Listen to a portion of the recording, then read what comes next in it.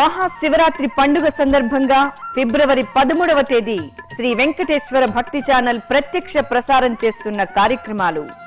రాత్రి పదకొండు గంటల ముప్పై నిమిషాలకు శ్రీకాళహస్తి నుండి నంది వాహన సేవ.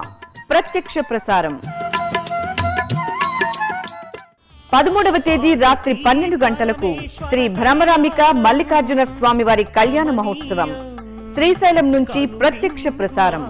వీక్షించండి తరించండి. భూలోకం